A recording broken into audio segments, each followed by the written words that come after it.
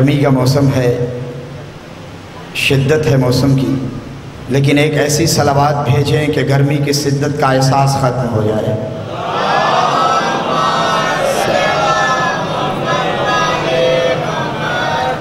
अज़मत दरूद के मतलब आका मौला सरकार मोहम्मद मुस्तफ़ा सल्लल्लाहु अलैहि व वसल्लम का फरमान है कि शैतान दो तरह के होते हैं।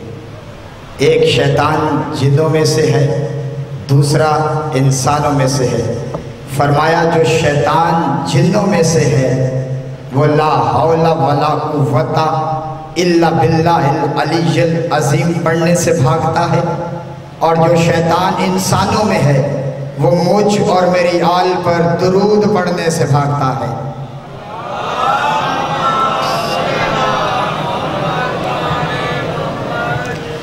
औज़बिल्लाहिमिनश्शैतानिर्रजीम बिस्मिल्लाहिर्रहमानिर्रहीम अल्हम्दु लिल्लाहिल मारूफ मिन गैर रुयतिन वल खालिक मिन गैर रवैयतिन अल्लजी लम यजल काइमन दाइमन इज़ ला समाउन जातु अबराजिन वला हुजुबुन जातु अरताजिन वला लैलुन ताजिन वला बहरुन साजिन वला जबलुन जुफे जाजिन वला फजुन जुआ वे जाजिन, वला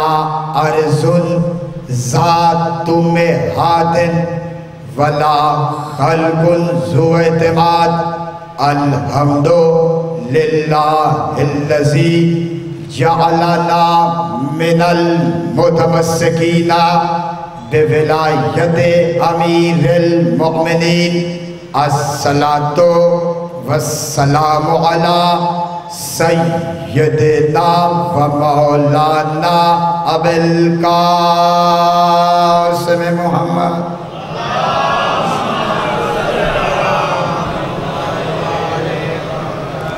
व अहल बैतिहि तय्यबीन ताहिरीन मासूमीन मजलूमीन। वलानतुल्लाह अला आदाइहिम अजमईन मिन यौमिना हाजा इला कियाम यौमिद्दीन। अम्मा बाद फ़कत काल अल्लाह सुब्हानहु व तआला फ़ी महकम किताब मुबीन। वहुवा अस्दकुसादकीन व कौलुल हक बिस्मिल्लाहिर्रहमानिर्रहीम। इन्ना अलैना लल हुदा दरूद भेजे आले मोहम्मद।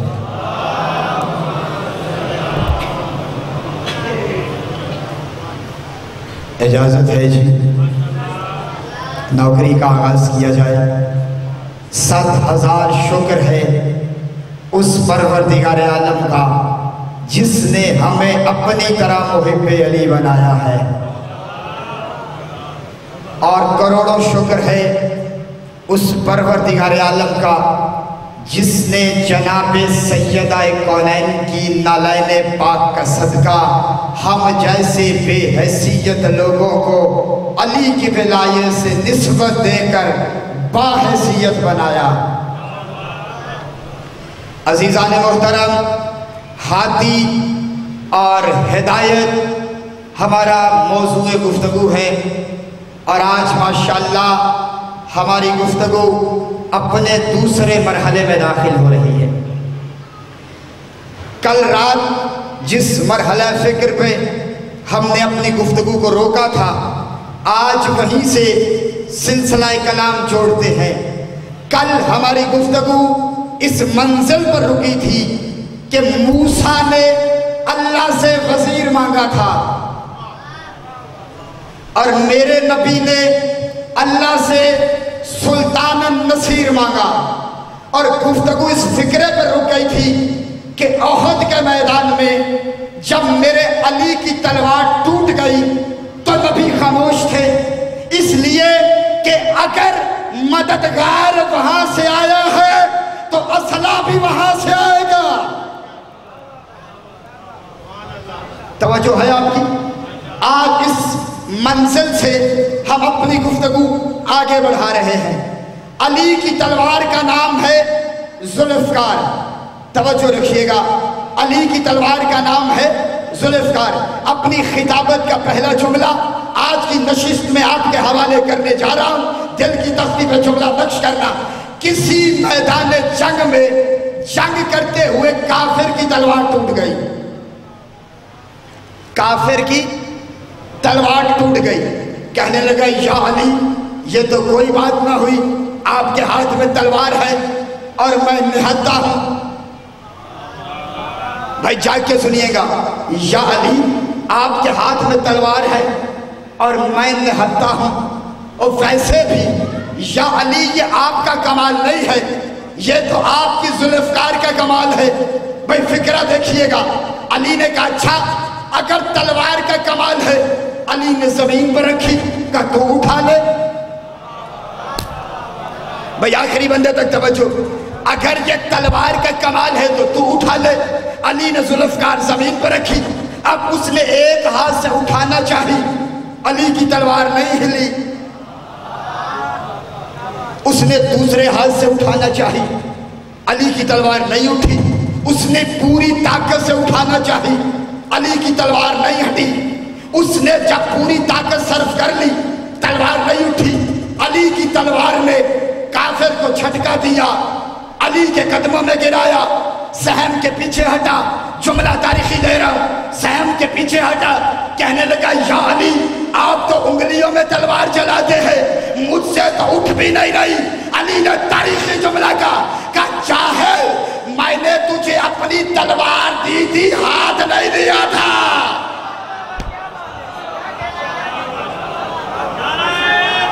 आप सलामत रहेंगे बिस्मिल्लाह।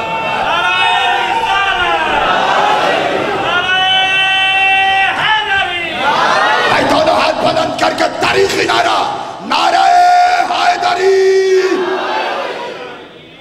बस, बेदारी थोड़ी सी ऊपर लेके जानी है। आज हम एक जीना और बुलंद हो जाएँगे। तवज्जो है? और कल रात की मजलिस में मैंने एक जुमला कहा था कि भाई, अल्लाह ने हिदायत के लिए सवा लाख नबी भेजे। चार आसमानी किताबें नाजिल की। तो आज कह दो कि फुला किताब कुरान जैसी। भाई, जागना न्याज हुसैन, मैंने कल जुमला अर्ज़ किया था। कह दो कि फुला किताब कुरान जैसी तो फतवे लगेंगे। कि इस काफिर को बाहर निकालो। तो भाई, जब कुरान किसी किताब जैसा नहीं हो सकता तो मोहम्मद तुम जैसा कैसे हो जाएगा? मोहम्मद तुम जैसा अल्लाह का बनाया हुआ हाथी बंदों के बनाए हुए जैसा नहीं बन सकता। आओ, मैं कुरान से फैसला देता हूँ कि जो नबी को अपने जैसा समझे, उसकी सजा क्या है? जो कुरान सुनने आया है नबी को जो अपने जैसा समझे, उसकी सजा क्या है? अल्लाह ने सूरह मोमिनून में कहा, वकाला मलाउल्लजीन कफरू मिन कौम ही अल्लाह कहते हैं, मैंने नूह की कौम के बंदे काफिर कर दिए। नूह की कौम के कुछ बंदे, कुछ लोग काफिर कर दिए। क्या ख्याल है? मातम करते थे। जो मातमी हैं, वो तो हाथ उठाएँ क्या ख्याल है? काफिर हो गए, मातम करते होंगे शबीय सुलझना बरामद कराते होंगे, मजलिस करते होंगे, काले कपड़े पहनते होंगे, गुस्ताखे सहाबा के उन पे फतवे लगते होंगे। क्योंकि दुनिया तो हमें इसी वजह से काफिर कहती है ना, मैंने कहा पालने वाले शियों वाला तो एक काम भी नहीं करते। शियों वाला तो कोई काम नहीं है। फिर काफिर क्यों हो गए? मालिक इनका जुर्म क्या है? जुर्म सुनोगे? कहा इन्होंने मेरे नबी नू को कहा मा हाजा इल्ला बशरुन मिस्लुकुम। वो नू को कहते थे ये हम जैसा बशर है। तवज्जो है आपकी? भाई सलामत रहे। थोड़ी सी बेदारी और दिखाइए तो मैं जुमला हदिया करूँ। हमने नू की लोग नू की कौम के लोग काफिर कर दिए। क्यों? वो नू को कहते थे, ये हम जैसा बशर है। अल्लाह कहता है, फिर ये आगे बढ़े। मैंने इनके कोफर में इजाफा कर दिया। तवज्जो है आपकी? आखिरी बंदे तक जुमला वसूल करेंगे। पहला जुर्म यह था कि इन्होंने नबी को अपने जैसा समझा। अल्लाह कहता है, फिर आगे बढ़े। मैंने इनके कुफर में इजाफा कर दिया। अल्लाह फिर क्या किया? वो नू को कहते थे इन हुआ रजुन बेही जन्नतुन। वो कहते थे नू का दिमाग खराब हो गया है। वो कहते थे नू का दिमाग खराब हो गया है। अब इमदाद अली हैदरी, पहला जुमला खिताबत का आपके दिलों की तख्ती पे नक्श करने लगा है। जिसके दिल में अली की विलायत रहती है, वो बंदा ज़रूर बोलेगा, बाकियों की मर्ज़ी है। अल्लाह कहता है, पहले इन्होंने मेरे नबी को अपने जैसा कहा तो फिर इन्होंने कफर में इजाफा किया। फिर इन्होंने कहा का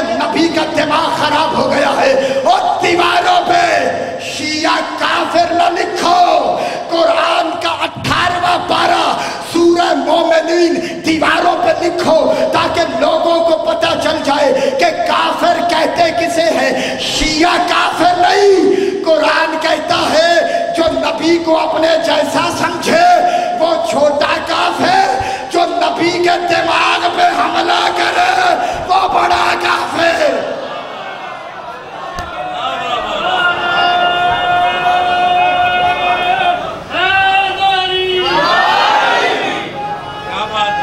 सलामत रहें जी आप बिस्मिल्लाह।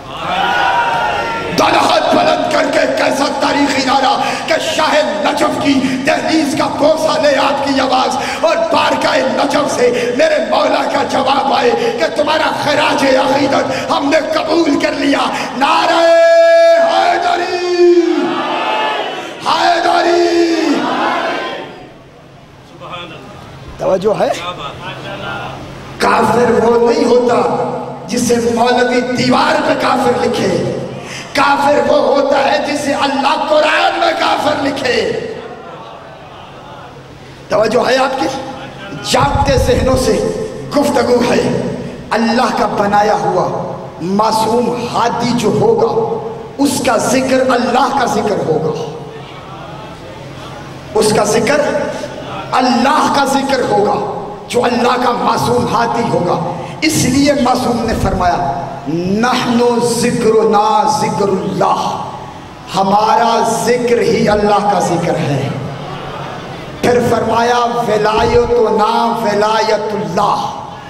हमारी विलायत ही अल्लाह की विलायत है। अगर मिजाज थके नहीं तो मैं चंद आयतें पढ़ दूँ। जो कुरान सुनने का मिजाज रखता है, आयतें पढ़ दूँ। पहली आयत, सूरह मुबारक जुम्मा की। आज आयतों पे आयतें पढ़ी जाएँगी और फिर नतीजा आपके हवाले। बिस्मिल्लाहिर्रहमानिर्रहीम। या इज़ा लिस्सलाति मिन यौमिल जुमआ फसआओ इला ज़िक्रिल्लाह। वज़रुल ज़ालिकुम खैरुल लकुम, इन कुंतुम तअलमून। अल्लाह कहते हैं, ए ईमान वालों, जब तुम्हें जुम्मे के दिन सलाद के लिए बुलाया जाए फस आओ, इला ज़िक्र तो तुम अल्लाह के ज़िक्र की तरफ़ आओ। पता चला नमाज़ और है, ज़िक्र और है। जितने मेरे जवान बैठे हैं, उनसे मैंने दाद लेनी है, बुज़ुर्गों से दुआ लेनी है। क्या कहा? भाई, होना तो ये चाहिए था कि अल्लाह कहता, तुम्हें नमाज़ के लिए निदा दी जाए। तो नमाज़ की तरफ़ आओ, लेकिन नहीं उसने कहा, ईजा, नूत सलाद। जब सलाद के लिए तुम्हें निदा दी जाए, बुलाया जाए फस आओ एला ज़िक्र तुम अल्लाह के ज़िक्र की तरफ़ आओ। पता चला नमाज़ और है, ज़िक्र खुदा और है। नहीं समझे मैं कुरान की एक और आयत पढ़ता हूँ। फिर सूर्य अन कबूत में इर्शाद हुआ। बिस्मिल्लाहिर्रहमानिर्रहीम।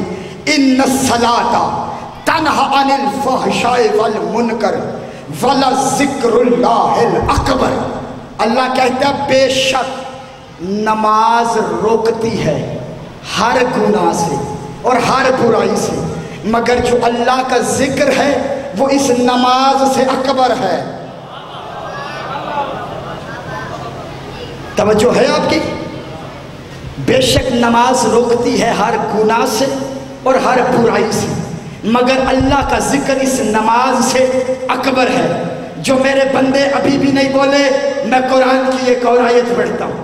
इरशाद हुआ फिर बिस्मिल्लाहिर्रहमानिर्रहीम, सूरह यासीन। इन्नमा तुनजिरु मन इत्तबा जिक्रा व खश्यर रहमान बिल गैब ऐ मेरा हबीब, तेरी तबलीग से हर बंदा नहीं डरता। सिर्फ़ वो डरता है जो ज़िक्र का इत्तबा करता है। मालूम हुआ ज़िक्र किसी मुजस्म चीज़ का नाम है। नहीं समझे? मैं कुरान की एक और आयत पढ़ता हूँ। फिर सूरह ताहा में इरशाद हुआ। वह मन और जिक्री। फ़िंद लहू मीशतन संतम व नाशुरू यौमल कयामत आमा। फरमाया, जिसने भी हमारे ज़िक्र से मुँह मोड़ा, हम उसकी रोजी भी तंग करेंगे। और हम उसे कयामत के दिन अंधा करके उठाएँगे। जिसने हमारे ज़िक्र से मुँह मोड़ा, हम उसकी रोजी भी तंग करेंगे और उसे अंधा करके उठाएँगे। जो अभी भी खामोश है, उनके लिए एक और आयत पढ़ता हूँ। इरशाद हुआ फ़िन जिक्रा तन फ़ुलमिन सूरह जारियात। अल्लाह कहता है, ये ज़िक्र मोमिनों को नफा देता है। जो नहीं समझे, मैं कुरान की एक और आयत पढ़ता हूँ। फिर कहा, बिस्मिल्लाहिर्रहमानिर्रहीम। बल आतई नहुम बेजिक्र हूँ फ़हम अन ज़िक्र हम और का हमने इनकी तरफ़ अपना ज़िक्र भेजा। और असल में ये उस ज़िक्र से मुँह मोड़ने वाले हैं। भाई, इतनी आयतें आपने ज़िक्र के हवाले से सुन ली है। अब जहाँ जहाँ तक इमदाद अली हैदरी की आवाज़ जा रही है, हर बंदा दिल की तख्ती पर इमदाद अली हैदरी के जुमले नक्श करे। आपने ज़िक्र के हवाले से इतनी आयतें सुनी है। अल्लाह कहता है, मोहम्मद तेरी तबलीग से वो डरता है जो ज़िक्र का इतबा करता है। अल्लाह कहता है, ये ज़िक्र मोमिनों को नफा देता है। अल्लाह कहता है, नमाज़ के लिए बुलाया जाए तो अल्लाह के ज़िक्र की तरफ़ आ जाओ। अल्लाह कहता है, मेरा यह ज़िक्र नमाज़ से ज़्यादा अकबर है। तो आओ शिया सुन्नी, पता तो करते हैं कि आखिर ये ज़िक्र से मुराद है क्या? इमदाद अली हैदरी का बताया हुआ हवाला गलत साबित हो जाए। इमदाद अली हैदरी सारी ज़िंदगी मेंबर पे नहीं आएगा। किसी छोटे मोटे मौलवी जाकिर खतीब की लिखी हुई किताब नहीं है। हवाला उधार करके नहीं जा रहा। हवाला नगद लेकर आया हूँ। हवाला सुना के नहीं जा रहा। हवाला दिखा के जा रहा हूँ। मज़हब आल मोहम्मद की मोतबर तरीन किताब, उसूल काफ़ी मेरे हाथ में है। दूसरी किताब आयतुल्ला अहमद मुस्तमद की अल कतरा मेरे हाथ में है। अगर इन दोनों किताबों में मेरे मौला का फरमान न हो, मैं ज़ुबान कटवाने के लिए तैयार हूँ। जब जहाँ जिसने भी मासूम से पूछा, मौला, ज़िक्र से क्या मुराद है? फरमाया, ज़िक्र से मुराद हमारे दादा अली की विलायत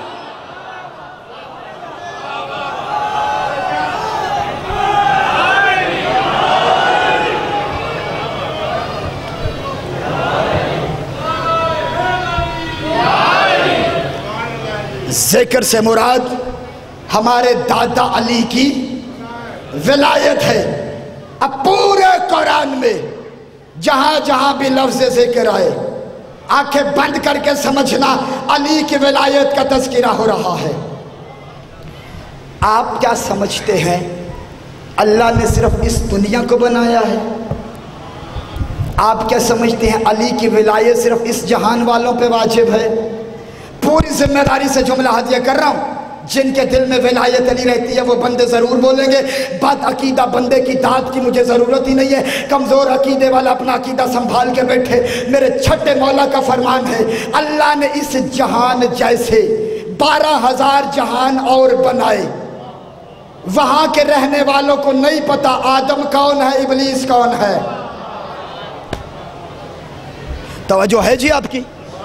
वहाँ के रहने वालों को नहीं मालूम कि आदम कौन है, इबलीस कौन है। बंदा हैरान हो के कहता है, मौला वहाँ के रहने वालों को आदम का नहीं पता, इबलीस का नहीं पता। तो क्या आपको जानते हैं?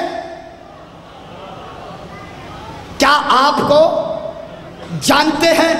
मौला ने फरमाया, सुनो, उन पे कोई चीज़ वाजिब नहीं, सिर्फ़ दो चीज़ें वाजिब हैरान हो गया बंदा। मौला कहते हैं, उन पर नमाज़ वाजिब नहीं, ज़िम्मेदारी से कह रहा हूँ, यही किताब मनाक बहल बैत अलकतरा जो मैंने दिखाई है, इसी में ये मेरे मौला का फरमान है, अगर रत्ती बराबर का फ़र्क निकले, मेरी सज़ा फांसी। मौला फरमाते हैं, वहाँ के रहने वालों को आदम का नहीं पता, उनको नहीं पता कि आदम कौन था, उनको नहीं पता कि इबलीस कौन है। वहाँ के रहने वाले तुमसे ज़्यादा हमारे इतात गुजार हैं। उन पर नमाज़ फ़र्ज़ नहीं उन पर रोजा वाजिब नहीं उन पर हज वाजिब नहीं उन पर कोई अमल वाजिब नहीं बस दो अमल वाजिब है। मौला क्या? फरमाया एक हमारी विलायत वाजिब है दूसरा हमारे दुश्मन पे लानत वाजिब। क्या बात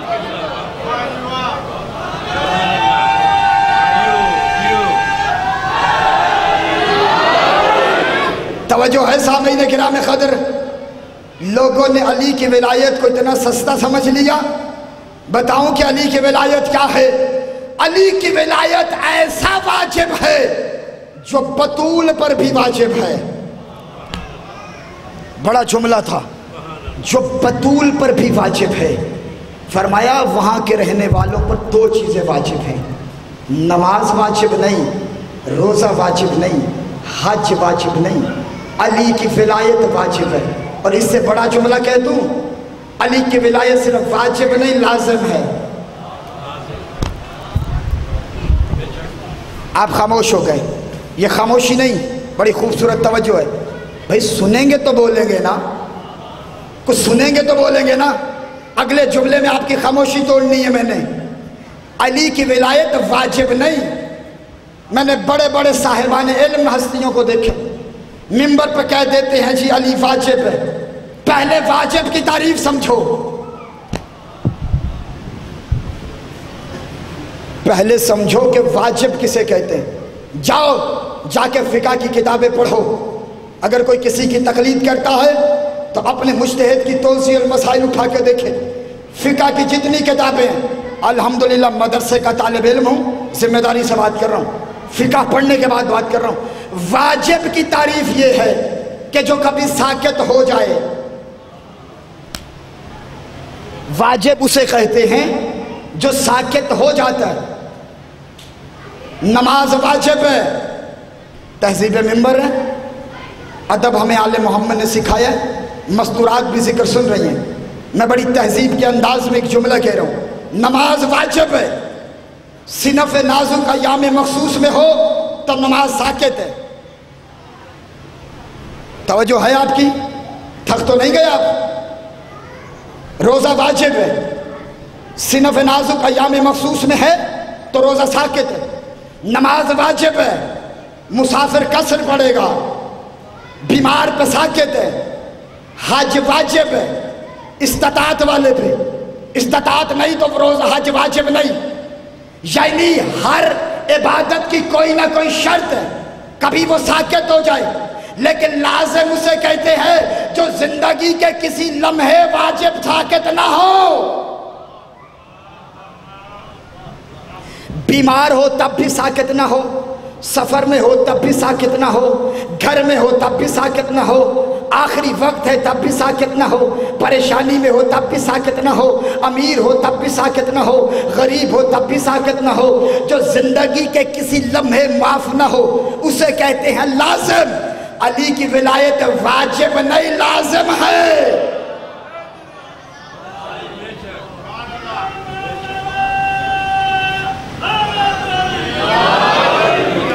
अली की विलायत लाजम है और ऐसी लाजिम है कि तमाम इबादतों से अफजल लाजिम है।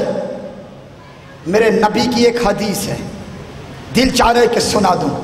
यौम खंदक मेरे नबी ने कहा था जरबत हो अली यौमल के अफजल मिन इबादत सकलाइन। अली की एक जरबत सकलैन की इबादत से अफजल है। ये जरबत किसे कहते हैं? यूँ तलवार उठाई, देखिएगा मेरी तरफ़। यूँ तलवार उठाई, ये एक जरब लगाई। बस इसे कहते हैं जरब। यानी अली के हाथ का इतना सा अमल सकलैन की इबादत से अफजल है। भाई, जुमला दे रहा हूँ, जुमला दे रहा हूँ, जिनके दिल में अली के विलायत है। अली के हाथ का इतना सा एक अमल, एक हल्की सी जुम्बिश सकलैन की इबादत से अफजल हो। और जिस अली के हाथ की एक जरब तेरी करोड़ों नमाजों से अफजल हो, क्या उस अली का नाम नमाज़ में नहीं आ सकता?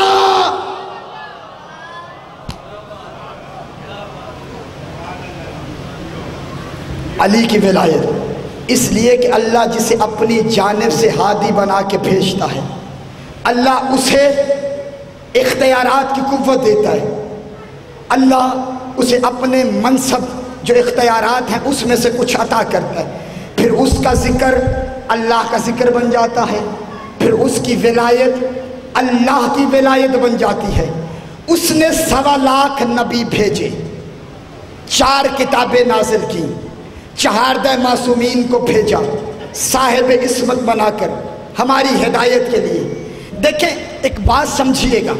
हम हैं मुमकिन वजूद और अल्लाह है वाजिबुल वजूद। हम वहाँ जाएँ, ये मुमकिन नहीं।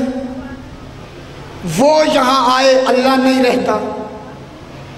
तो ज़रूरत है दरमियान में कोई ऐसा हो जिसका एक ताल्लुक नूरानियत से हो, एक बशरीत से हो। ज़रूरत है कि जिसका एक ताल्लुक यहाँ से हो, दूसरा ताल्लुक वहाँ से हो। एक नाता यहाँ से हो, एक नाता वहाँ से हो। फिक्रा तब्दील करके कहूँ, अगर ज़ाया नहीं करेंगे। यानी नज़र आने में बशर जैसे हो, कमाल में तोहीद जैसे हों।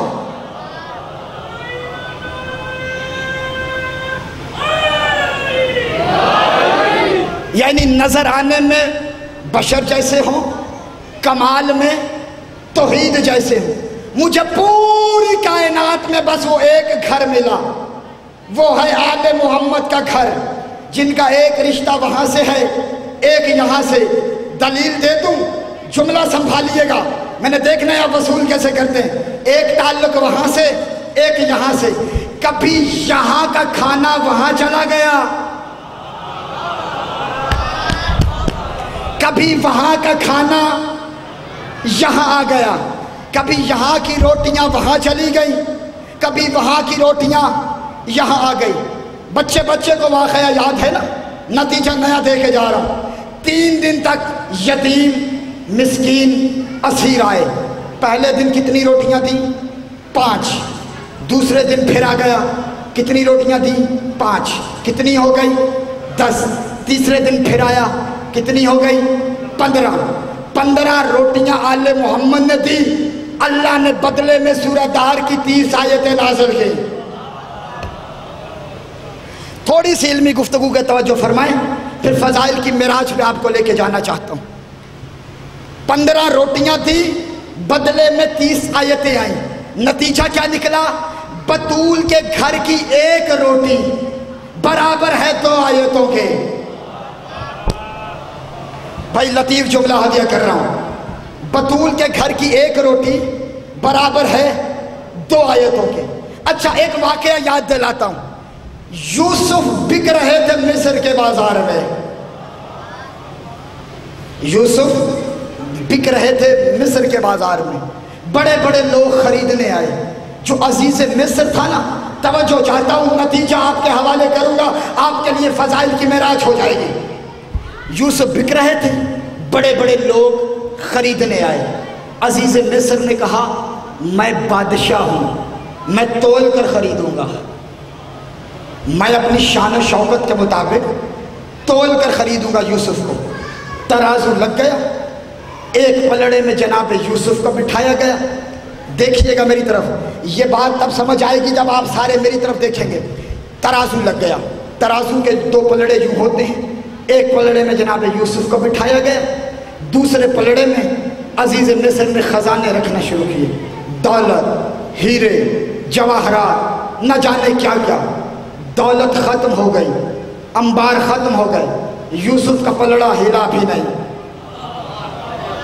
जो बोल सकता है, जो अली से खैरात लेने आया, वो पीछे वाले बंदे तायद करे था कि मुझे एहसास रहे कि मेरे साथ हैं। वो दीवार के साथ लगे हुए मोमिन अजादारों की मुझे तायद चाहिए। भाई ख़जाने रखे, ख़जानों का ढेर ख़त्म हो गया। जनाब यूसुफ का पलड़ा हिला भी नहीं। अज़ीज़ मिस्र के कान में ग़ुलाम ने कहा, बादशाह, तेरे सारे ख़जाने तो ख़त्म हो गए और यूसुफ का पलड़ा हिला भी नहीं। बादशाह परेशान हुआ। अब जुमला कह दूँ, काफिर था, लेकिन परेशान हो गया। अगर ज़रा सी दिल में नबी की मोहब्बत हो काफिर भी हो तो सिला मिल जाता है। थोड़ा सा जाके काफिर भी हो तो सिला मिल जाता है। जनाब यूसुफ ने उसके चेहरे पर परेशानी देखी। कहा, ख़रीदना चाहता है? कहा, जी हुजूर, का परेशान हो गया कहा, जी, का ख़जाने ख़त्म हो गए। का जी का मैंने सारे ख़जाने रख दिए, लेकिन आपका पलड़ा हिलने का नाम नहीं ले रहा। जनाब यूसुफ ने कहा, एक काम कर ये ख़जाने उठा ले, एक कागज़ लेकर आ। जो बंदा समझ गया ये फिक्रा, इमदाद अली हैदी से सलाम कर रहा है। जो नहीं समझेगा, मुकद्दर का शिकवा करे। जुमला पूरी तकरीर से ज़्यादा वजनी कहने लगा जनाब यूसुफ ने कहा, एक कागज़ लेकर आ, एक कलम लेकर आ। वो काफिर था, मगर नबी ने मांगा तो दे दिया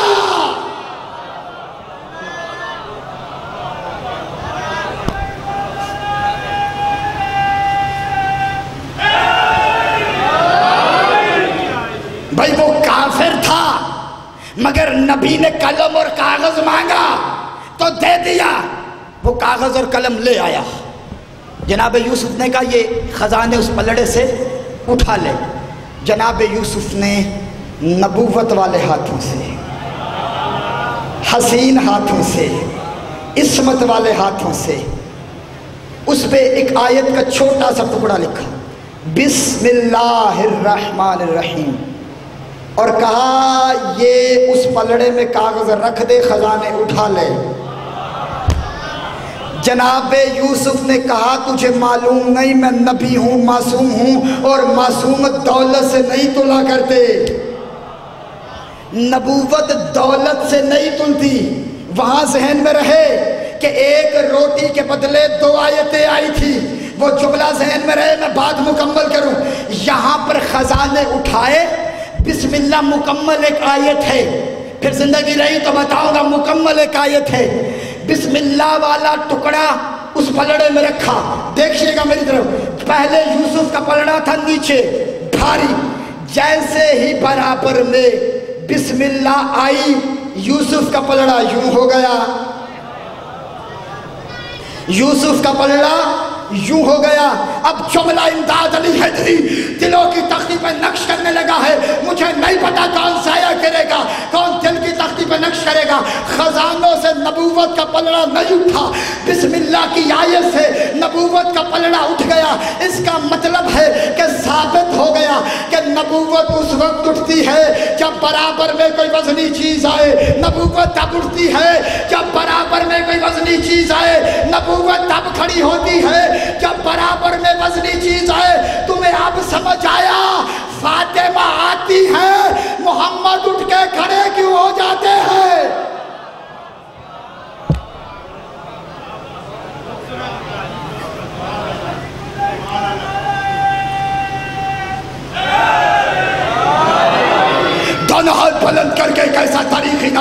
कि शायद नजफ की दलीज का बोसा ले आपकी आवाज़। और पार का नजफ से मेरे शहनशाह का जवाब आए कि तुम्हारा खराज मवदत हमने कबूल कर लिया।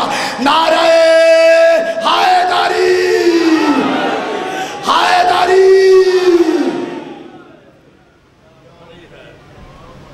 नबूवत तब उठती है जब बराबर में कोई वजनी चीज़ आए। अच्छा जुमला याद है ना? अच्छा बिस्मिल्लाह एक मुकम्मल आयत। मालूम हुआ नबूवत तुली एक आयत के। नबूवतुली एक आयत के जिसे याद है कि पंद्रह रोटियों के बदले तीस आयतें नाजिल हुई थी। वहाँ पर पंद्रह आयतों के बदले, पंद्रह रोटियों के बदले तीस आयतें नाजिल हुई। यहाँ पर एक नबूवतुली है, एक आयत से, एक नबी तुला है, एक आयत से। यानी यहाँ एक नबी बराबर है एक आयत के। वहाँ बतूल के घर की एक रोटी बराबर है दो आयतों के। तवज्जो है आपकी? जिसे अल्लाह अपना हाथी बना के भेजे फिर उसे इसमत भी वही अता करता है। फिर अल्लाह अपने इख्तियारात में से उसे इख्तियार देता है, अपनी हुज्जतों को इख्तियार देता है। जुमला बड़ा कहने लगा हुज्जत का, साहिब इसमत हादी का इख्तियार तो बड़ा है, इनके नौकरों का इख्तियार समझ नहीं आते। इनके नौकरों के इख्तियार समझ नहीं आते। बिलाल इसी दर का नौकर था ना? तवज्जो है आपकी? बिलाल इसी दर का नौकर था ना? कुछ लोग आए थे। मैं बताने लगा हूँ, जो हाथी हो, उसका इख्तियार क्या है? फिर जो हाथी के दर पर सजदा रेज हो जाए, उसका इख्तियार क्या है? जो अदब सुनने वाले देखिएगा मेरी तरफ़। कुछ लोग आए, या रसुल्ला बिलाल से कहें आसान न दिया करें। इसकी ज़ुबान में लुकनत है। नबी ने कहा, मैं नहीं हटाऊँगा। इसलिए कि जिसे मुकर्र कर दूँ, फिर नहीं हटाता। या रसुल्ला हम हटा दें? नबी ने कहा, हटा दो। बिलाल के पास आए। जुमला बड़ा बारीक है। जोश खिताबत पे तो बच्चा भी बोल पड़ता है। कमाल ये है कि ऐसे जुमलों पे बोले, बिलाल के पास आए। बिलाल तुमने सुबह फजर की अजान नहीं देनी। बिलाल ने कहा, ठीक है, मैंने अजान नहीं देनी तो तुमने नमाज़ नहीं पढ़नी। तुमने नमाज़ नहीं पढ़नी। बिलाल, बस तुमने अजान नहीं देनी। बिलाल को कह के घर आ गए। सो गए। सोते रहे। सोते रहे। सोते रहे। सो के थक गए। बदन थक गए। सो सो के जिसम थक गए। कभी आधी रात को उठ के देखते, अभी भी दिन नहीं चढ़ा, फिर सो जाते, फिर थोड़ी देर बाद उठते, अभी भी दिन नहीं चढ़ा, फिर सो जाते। बीवियाँ पूछती हैं, क्या हुआ? पहले तो कभी रात को उठ उठ के ऐसे नहीं करते। हुआ क्या है? का पता नहीं क्या बात है, ये रात आगे चल क्यों नहीं रही? यकीनन ये मुस्तफ़ा ने रोकी है। जुमला दे रहा हूँ जो अदब सुनने वाले आखिरी बंदे तक तवज्जो। मेरे जवानों मेरा साथ देना, ये मुस्तफ़ा ने रोकी होगी। चलो जाके मुस्तफ़ा से कहते, इकट्ठे होकर नबी की खिदमत में आए। जुमला देखिएगा। या क्या इस रात को आपने रोका है? नबी ने कहा, नहीं। फिर किसने रोका है? कहा, उसने रोका है, जिसको तुमने रोका है। जो हाथ उठ गए, मौला खैरात नाजिल फरमाए। जिसको तुमने रोका है, इसे उसने रोका है। या रसुल्ला बिलाल को हुक्म देना फिर वो अजान पढ़े, इस रात को चलाए, इसे हुक्म दे रात चले का नहीं, चलाएगा भी वो। जिसने रोका इकट्ठे होकर बिलाल के पास आए। बिलाल, अजान दे, तू अजान देगा तो दिन नमूदार होगा। बिलाल वज़ू करके गुलदस्ता अजान पे आए। गुलदस्ता अजान पे आने से पहले देखिएगा, जो हुज्जत का नौकर है, उसका इख्तियार किया है। जब बिलाल वज़ू कर रहे थे, बिलाल के बाएँ हाथ की हथेली, बाएँ पैर की पुष्ट का मसा करके वापस पलट रही थी कि मसा करते हुए छुके हुए बिलाल ने आहिस्ता से रुकी हुई रात से कहा कि चलो। चलो, बिलाल ने आजान दी। सूरज नमूदार हुआ। नमाज़ हो गई, नमाज़ के पीछे। अब पूरे मजमे से मेरा एक सवाल है। फिर नतीजा आपके हवाले कर। रहा बिलाल ने अजान पढ़ी तो नमाज़ हो गई। मुझे पूरा मजमा बताए, किसी आलम दीन से पूछ के बताएँ, शरीयत में अजान की अहमियत क्या है? आप ऐसे खामोश हो गए जैसे कभी अजान सुनी पड़ी नहीं आपने। भाई, मैं मोमिनों की बस्ती में खिताब कर रहा हूँ ना। भाई, शरीयत में अजान की हैसियत क्या है? क्या अजान वाजिब है? नहीं। पूरी शरी ज़िम्मेदारी से कह रहा हूँ आखिरी बंदे तक। फिका पढ़ने के बाद बात कर रहा करूँ। अजान मुस्तहब है। नमाज़ फजर की वाजिब है। अजान वाजिब नहीं। अजान है मुस्तहब। नमाज़ है वाजिब। जुमला दे रहा हूँ। बिलाल ने मुस्तहब नहीं पढ़ी तो वाजिब रुक गई। बिलाल ने मुस्तहब नहीं पढ़ी तो वाजिब रुक गई। तुम्हें अभी भी अली समझ में नहीं आया, जिसके नौकर का मुस्तहब अमल, कायनात का वाजिब रोक दे उसे अली कहते हैं।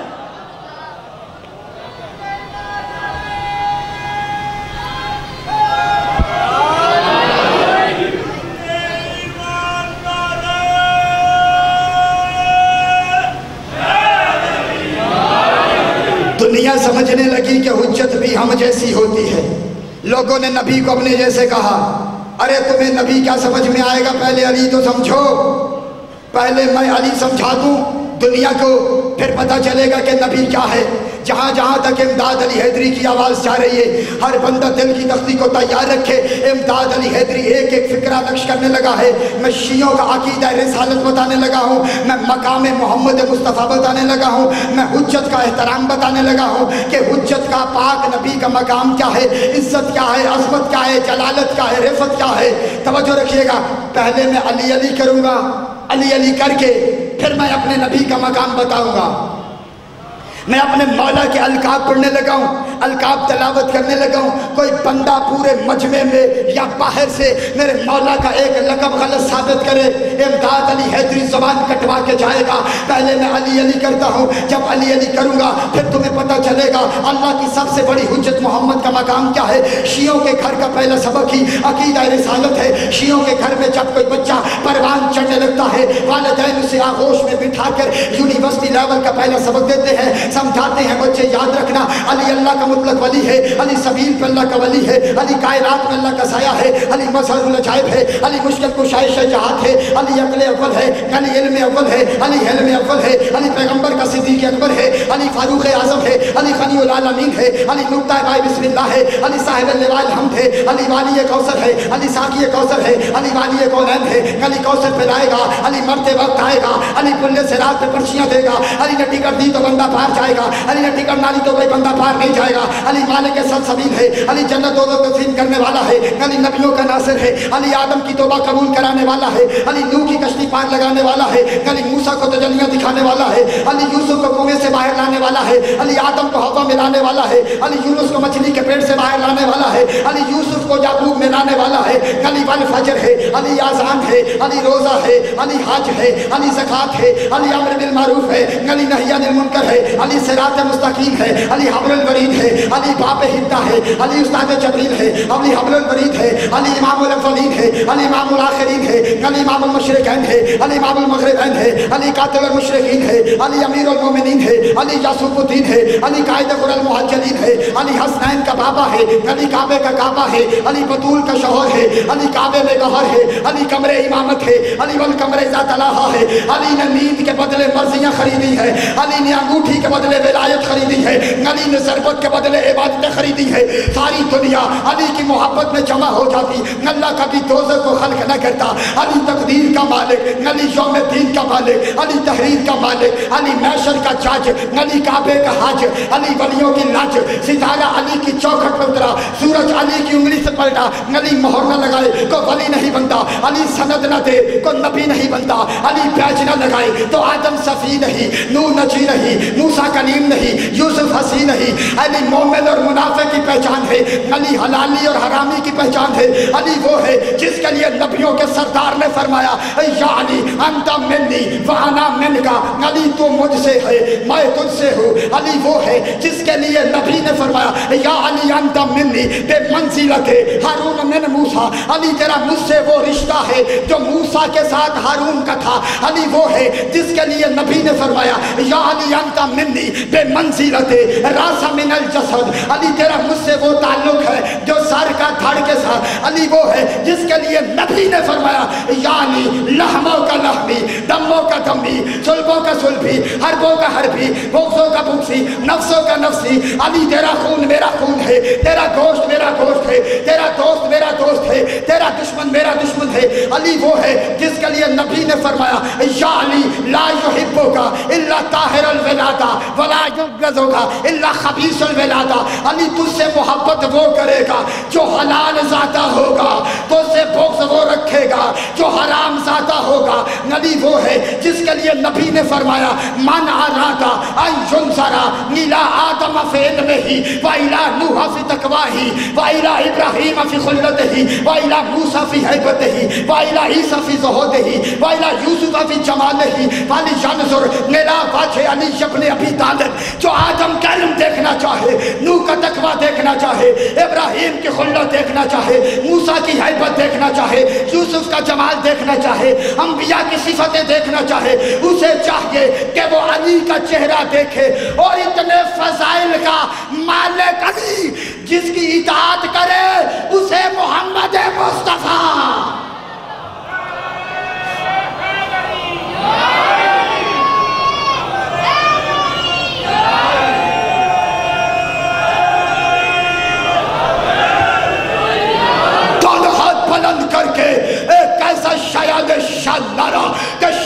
नजफ की दहलीज का बोसा ले आपकी आवाज़ और मेरे मौला का जवाब आए कि तुम्हारा खराज मबद हमने कबूल कर लिया। नारे, हाय हैदरी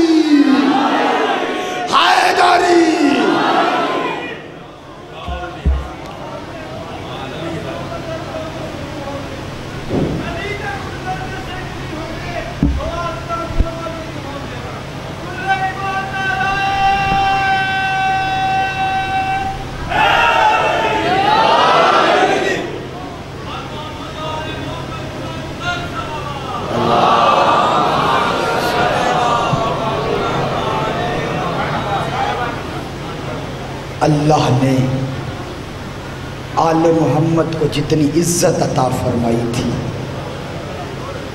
उससे कहीं ज़्यादा उम्मत ने दुख दिए हैं। शर्म करके नहीं रोना। मैंने कल रात भी अर्ज़ किया था, कोई उम्मती शर्म करके रोए तो रोए, लेकिन जो सादात उज़ाम हैं वो शर्म करके ना रोएँ। इसलिए कि शर्म करके वो रोता है जिसका कुछ बच गया हो और सैयदों का कुछ नहीं बचा। अजरो को अल्लाह अजरो कम अल्लाह हम तो जाकिर सुन के रोते हैं ना। जिस जाकिर की आवाज़ में ज़्यादा दर्द होता है, ज़्यादा सोज होता है, हम ज़्यादा क्रिया करते हैं। रखो मेरे सर पे कुरान। मौला सज्जाद कितने जाकिर सुन के रोते थे। अजरो अल्लाह। मेरे मौला ने सिर्फ़ रोने के बहाने तलाश किए हैं। बहाने बहाने से गिरिया किया है। कभी बाज़ार से गुज़रते हुए कसाई की दुकान के सामने से गुज़रे।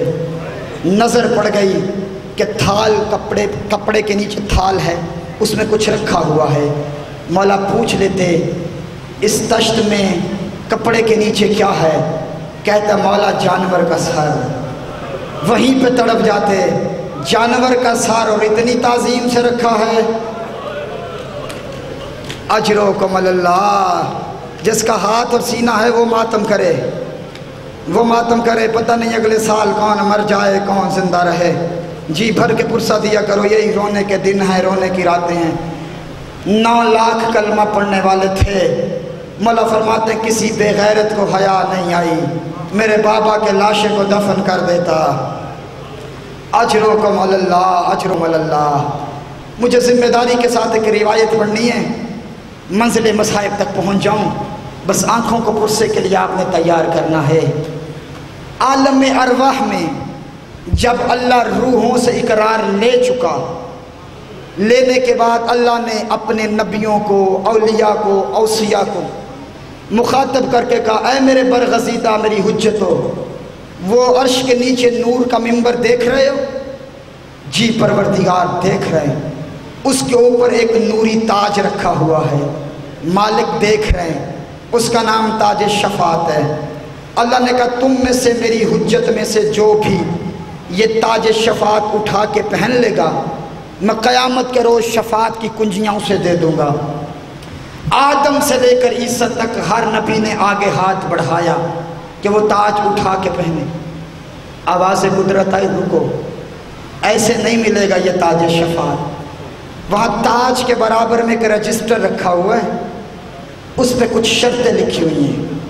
हर सफ़े पर एक शर्त लिखी है। हर शर्त पे दस्तखत करके तमाम शर्तों पर जो कामिल दस्तखत कर लेगा, ये ताज शफात वो ले जाएगा। अजादारों सुनोगे? आलम अरवाह की बात है। पहले पहले नबी आदम आगे बढ़े। पहला सफ़ा खोला। पहली शर्त पे नज़र पड़ी। जिसम कांपने लगा। आदम पीछे हटे। मालिक, बड़ा कीमती है ये ताज। अजरों को मलल। जो पहुँच गया, बीबी आप पर राज़ी बीबी आपकी हाय कबूल करे। मालिक बड़ा कीमती है, मैं नहीं ले सकता। आदम पीछे हटे, नूह नबी आगे बढ़े, दूसरा सफ़ा खोला, दूसरी शर्त पड़ी जिसम में लर्जा तारी हुआ। नूह भी पीछे हटे, मालिक मेरे बस की बात नहीं। कुरान कहता अयूब नबी बड़ा साबिर था। अयूब नबी आगे बढ़ा, सफ़ा खोला, शर्तें पढ़ी, दस्तखत करता रहा, लेकिन एक शर्त ऐसी आई अयूब नबी भी बड़ी देर रुक के सोचता रहा। रजिस्टर वहीं पर रखा, अयूब भी वापस आया। इतने में उस मैशर की भीड़ में मेरे नबी का नूर भी खड़ा था। इतने में एक नूर का पर्दा हटा, एक कम सिन रूह उस नूर के पर्दे से बाहर आई, जिसका नाम हुसैन इबन अली था। आगे बढ़ के कहा, नाना ये ताज शफात बना ही तेरे लिए है। अपनी हाय बुलंद करो तो मैं जुमला मुकम्मल करूँ। नाना, ये ताज शफात बना ही तेरे लिए।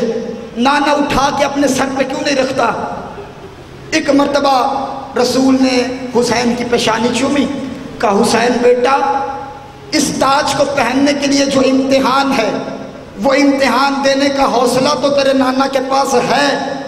मगर इम्तिहान देने के लिए जिस सामान की ज़रूरत है, वो सामान मेरे पास नहीं। बस हुसैन बेनियाजी से आगे बढ़े। हुसैन ने जल्दी से बेनियाजी से वो ताज शफात उठा के अपने नाना के सर पे रखा। सर पे रख के हुसैन फरमाते हैं, चश्मे बदूर।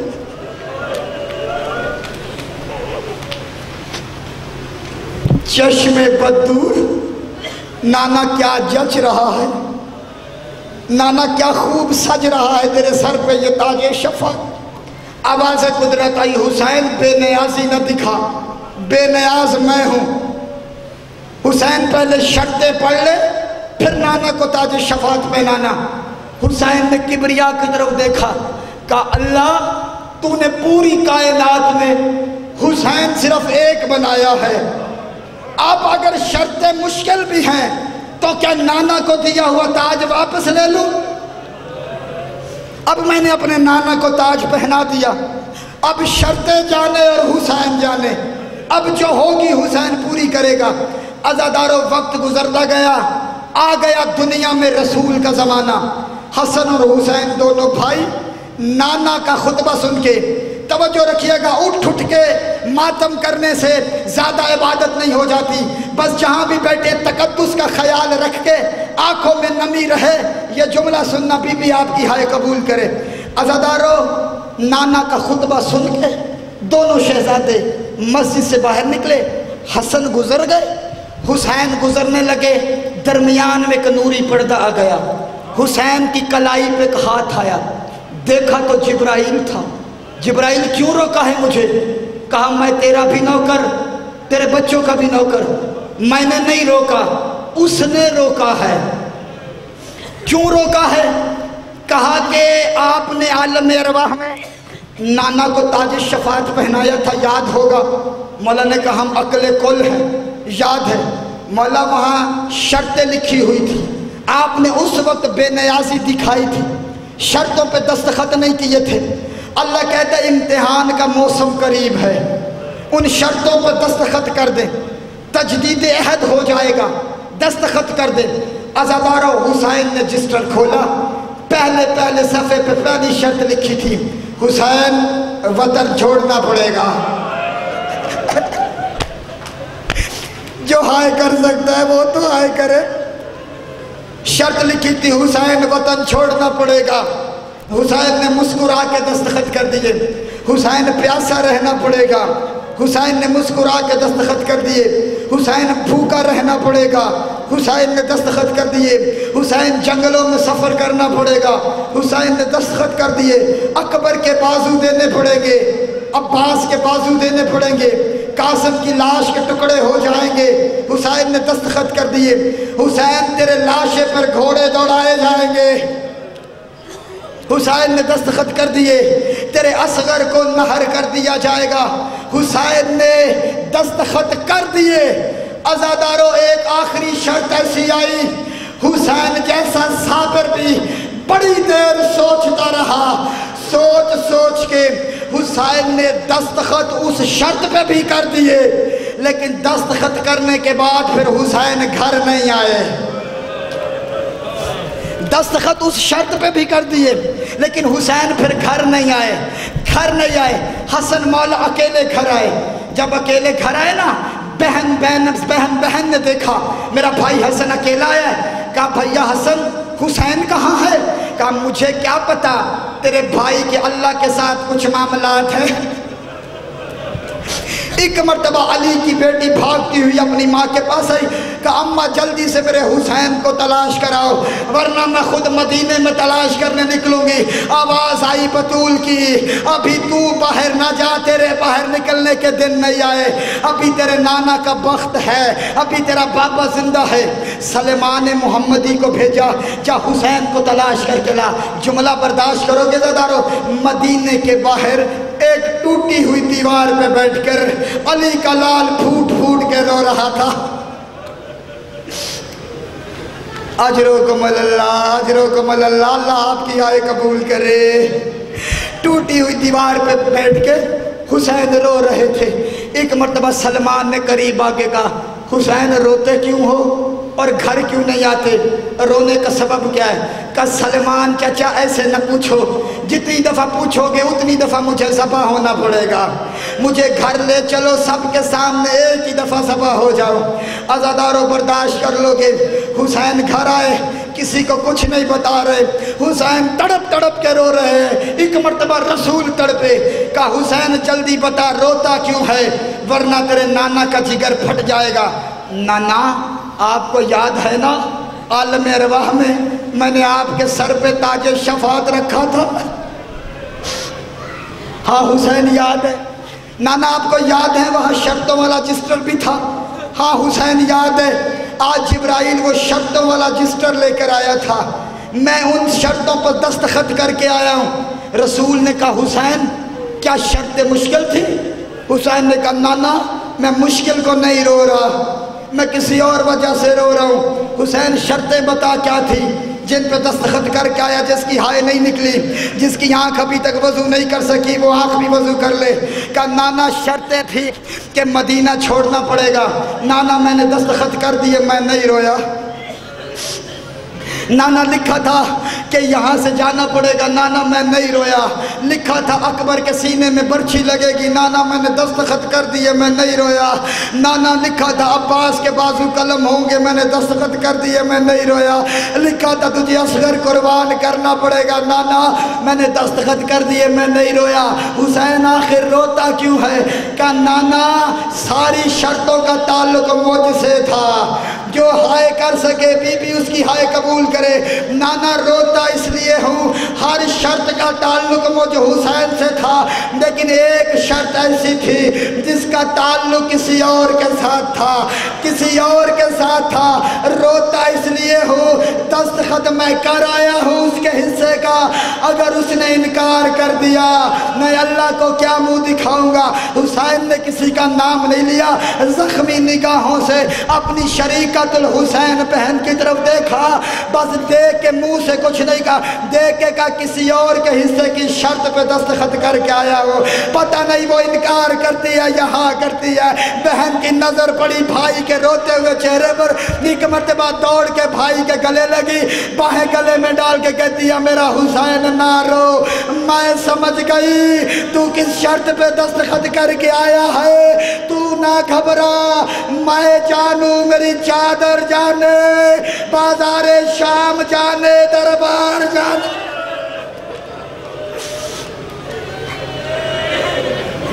अल्लाह लानतुल्लाह।